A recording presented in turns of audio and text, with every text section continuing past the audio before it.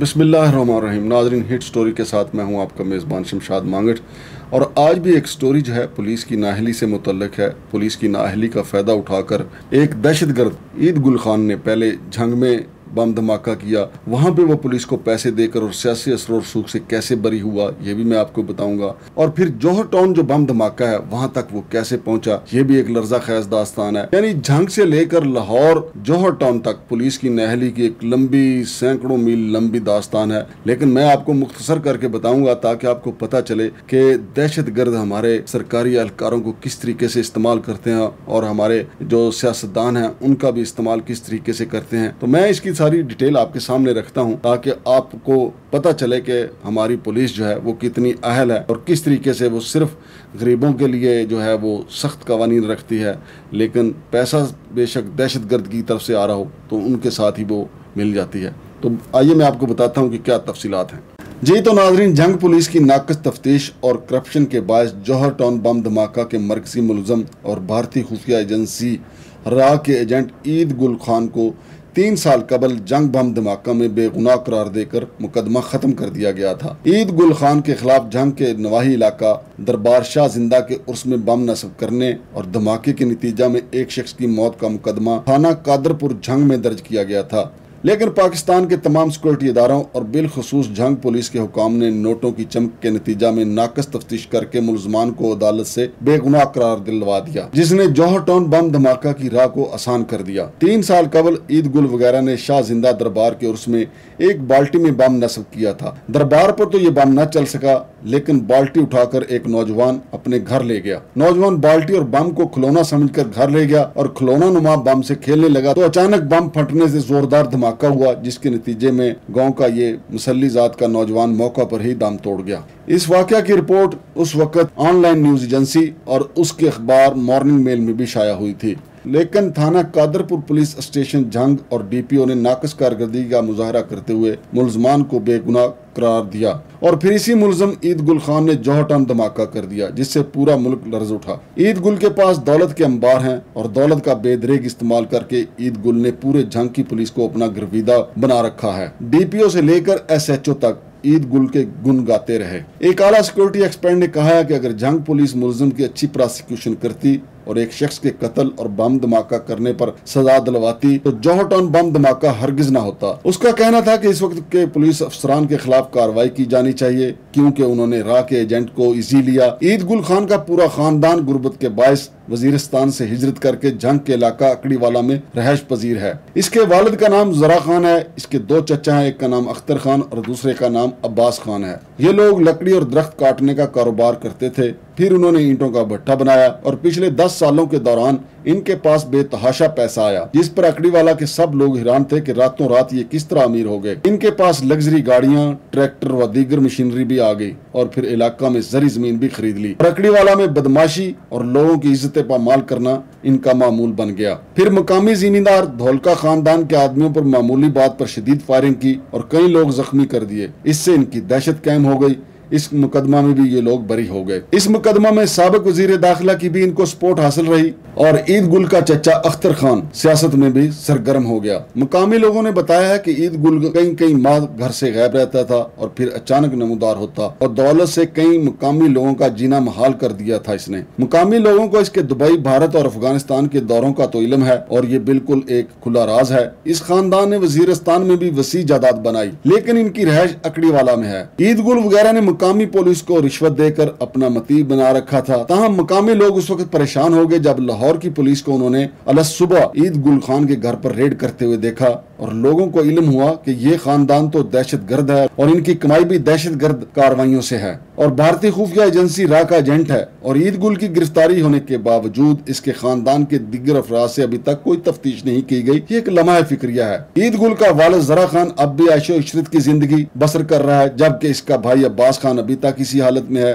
किसी सिक्योरिटी इदारे ने इनसे पूछगछ नहीं की है, जबकि अख्तर खान अब भी सियासी तौर पर सरगर्म है। इस हवाले से डीपीओ झंग सरफराज विर्क से रबता करके पूछा गया कि तीन साल कबल बम धमाका के मुलजम को क्यों रिहा किया गया था तो सरफराज विरक जवाब और वजाहत देने पर राज़ी न हुए। तमाम मुकामी लोगों ने मुतालबा किया है कि इस खानदान की वसी पैमाने पर तहकीकत की जाए। S H O Qadirpur police station Samar बास ने कहा है की हमने इस मुकदमा का चलान मुकम्मल करके अदालत में जमा करा दिया था इसके बाद की सूरत हाल का इलम नहीं। तो नाजरीन, मैं आपको थोड़ी सी और इस हवाले से बताता हूँ कि फिर ये मुलजम किस तरीके से पुलिस के तावन के साथ जोहर टाउन बम धमाका करने में कामयाब हुआ। बुनियादी तौर पर ईद गुल खान अफगान नजाद है, लेकिन ये पाकिस्तान में पैदा हुआ और यहीं पे प्रवान चढ़ा। ये तीन भाई हैं, तीनों रवानी के साथ पंजाबी बोल लेते हैं। ईद गुल की शादी ननकाना साहब में हुई। ये तीन साल कबल मजदूरी के सिलसिला में दुबई गया। इसे वहाँ नवीद नाम का एक पाकिस्तानी मिला। ये राह के लिए काम करता था। नवीद ने इसके साथ दोस्ती लगाई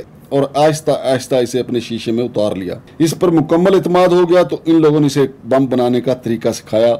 इसे यूरिया, चीनी, बारूद, बैटरी और टैमर लगाने, बम में बाल बैरिंग भरने और फिर तैयार बम को गाड़ी में नस्ब कराने का तरीका सिखाया गया और फिर पाकिस्तान भजवा दिया। ये इसके बाद चार मरतबा दुबई गया और नवीद से मिला। राह इस दौरान इसका जायजा भी लेती रही और इसकी संजीदगी का मुताल भी करती रही। बहरहाल, दो हज़ार इक्कीस के शुरू में इसे टास्क दिया गया। ईद गुल के साथ दो करोड़ रुपए में सौदा हुआ। एक करोड़ रुपए इसे दे दिए गए, जबकि बाकी रकम इसे काम के बाद मिलनी थी। ईद गुल को गाड़ी कराची के एक एजेंट पीटर पाल ने दी। ये पचपन साल का पाकिस्तानी शहरी है, यूरोप में रहता था और पाकिस्तान आता जाता रहता था। गाड़ी सियाह रंग की टोटा करोला थी, मॉडल 2010 था और ये चोरी हो गई। पीटर पाल ने गाड़ी टेम्पर्ड करवाई और ईद गुल के हवाले कर दी। पीटर पाल खुद भी धमाके के दिन लाहौर में था और ये काम मुकम्मल होने के बाद कराची की फ़्लाइट में सवार हो गया था। लेकिन खुफिया इदारे जहाज़ उड़ाने से पहले इस तक पहुँच गए और इसे ऑफलोड करके गिरफ़्तार कर लिया। ईद गुल ने जून के दूसरे हफ़्ते मार्केट से बम बनाने का सामान खरीदा, बम बनाया और सवाद के एक मोटर मैकेनिक को बीस लाख रुपए देकर इसे डिक्की में फिट करा लिया। मैकेनिक ने डिक्की का लाक भी फिक्स कर दिया ताकि जब डिक्की खोलने की कोशिश की जाए तो ऐसा महसूस हो, लाख फंस गया। और यूँ गाड़ी की तलाशी ना हो सके। दूसरी तरफ़, जोहर टाउन में हाफिज सईद के घर के करीब राह का एक एजेंट अढ़ाई बरसों से रह रहा था। इसने किराए पर मकान ले रखा था, वो पूरे इलाके की रैकी भी कर चुका था। इसने हाफिज सईद की लोकेशन भी इंडिया भजवा दी थी। दुबई वाले नवीद ने ईद गुल का इस शख्स के साथ रबता करा दिया। प्लान तैयार था, बस धमाका बाकी था। ईद गुल गाड़ी लेकर तेईस जून की सुबह लाहौर पहुँचा। बाबू साबू इंटरचेंज पर आया तो वहाँ एंटी कार लिफ्टिंग फोर्स ने नाका लगाया हुआ था। कांस्टेबल ने ईद गुल और इसकी गाड़ी L E B double nine two eight भी रोक ली और इसे डिक्की खोलने का कहा। ईद गुल ने डिक्की का लीवर दबाया, कांस्टेबल ने कांस्टेबल ने डिक्की खोली, लेकिन इसका लाख फिक्स था। ईद गुल इस दौरान कांस्टेबल के पास आया, इसकी मुट्ठी में हज़ार रुपए दबाए और इससे कहा, मुझे देर हो रही है, तुम ये रखो और मुझे जाने दो। कांस्टेबल ने हज़ार रुपए वापस करके कहा, मैं पाँच हज़ार रुपए लूँगा। ईद गुल ने इसे पाँच हज़ार रुपए दे दिए।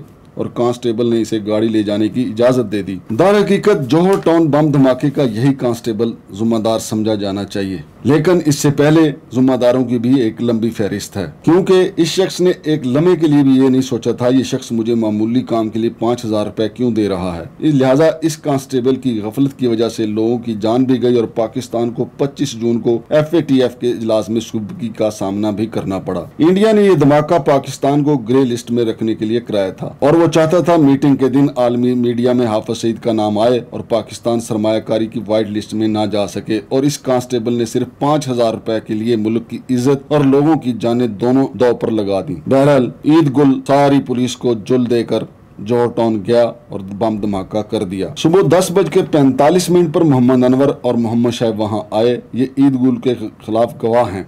लिहाजा दोनों के नाम फर्जी हैं। ईद गुल ने इनको बताया, मेरी गाड़ी खराब हो गई है, मैं मैकेनिक देने जा रहा हूँ। आप गाड़ी का ख्याल रखिएगा। मोहम्मद अनवर ने इंसानी हमदर्दी में ईद गुल को स्कूल के कूलर से पानी भी ला कर दिया। इसने पानी पिया, गाड़ी वहाँ छोड़ी और गायब हो गया। ग्यारह बजकर आठ मिनट पर धमाका हुआ और गाड़ी के प्रखचे उड़ गए। तीन लोग जाम भाग हो गए। इनमें पुलिस के दो एहलकार भी शामिल थे। बीस लोग जख्मी हुए और गली और घरों में खड़ी बारह गाड़ियाँ तबाह हो गई तो नाजरीन ईद गुल का ये काम था।